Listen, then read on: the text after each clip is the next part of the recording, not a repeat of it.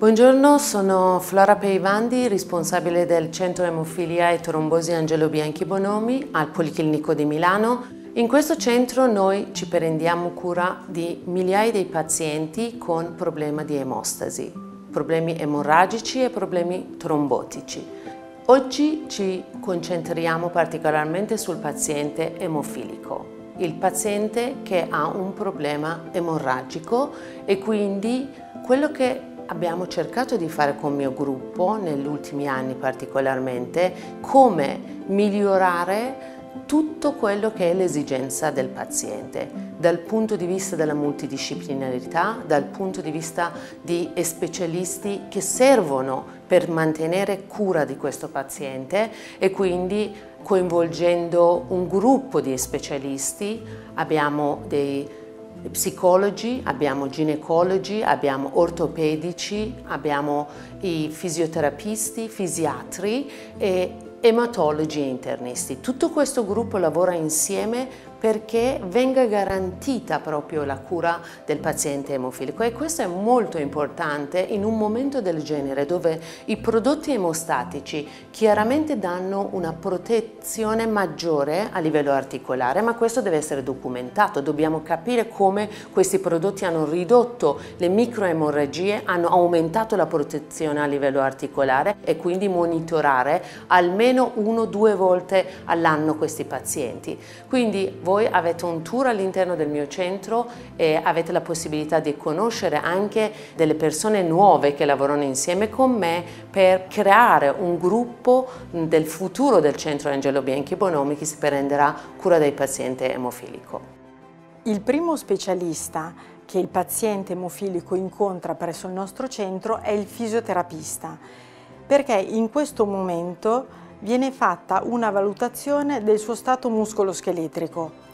La valutazione è strumentale su una pedana baropodometrica e stabilometrica e funzionale. Si guarda quello che riesce a fare il paziente e sulla base di questo vengono date a lui dei consigli, degli esercizi che poi può fare anche a casa. In questo momento si dà al paziente l'indicazione se fare la fisioterapia di mantenimento, post-operatoria o preoperatoria. Un altro momento importantissimo è quello dell'approccio manuale che viene effettuato sul paziente e che permette al paziente di capire quanto può fare e come può migliorare la sua qualità di vita.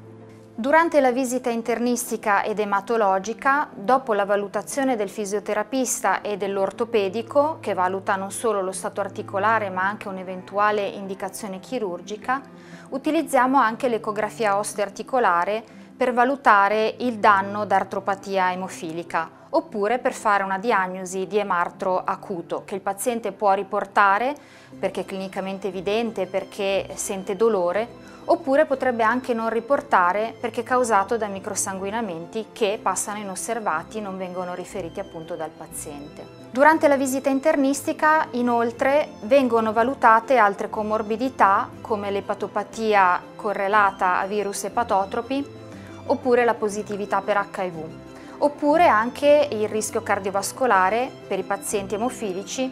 eh, e vengono programmate una serie di eh, valutazioni da parte degli specialisti del centro oppure eh, da parte degli specialisti del policlinico. All'interno del percorso del paziente emofilico abbiamo pensato con la professoressa Peivandi di inserire anche una valutazione del rischio cardiovascolare eh, in quanto i pazienti emofilici eh, oggi hanno un'aspettativa di vita più lunga rispetto a quanto accadeva in passato e pari a quella della popolazione generale.